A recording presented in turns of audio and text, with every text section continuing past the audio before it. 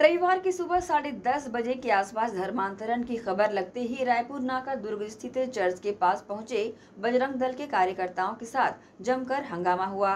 बजरंग दल के कार्यकर्ताओं का आरोप था कि चर्च में धर्मांतरण किया जा रहा था। जब वे लोग विरोध करने पुलिस को खबर देकर चर्च के पास पहुँचे तो उन पर लोगों ने पथराव कर डंडे और पत्थर से मारपीट की, जिसमें लगभग डेढ़ दर्जन लोग घायल हो गए हैं।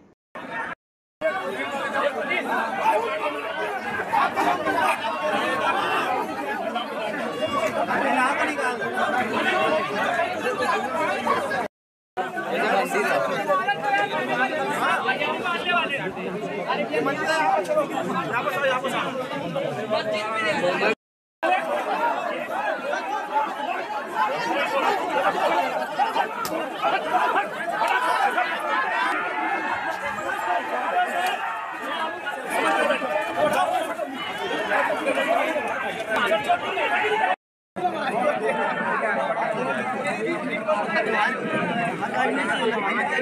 hospital.